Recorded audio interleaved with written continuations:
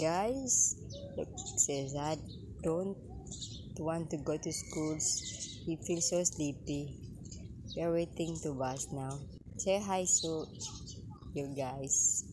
Hi guys. So today I'm super tired be- be- because I had to wake up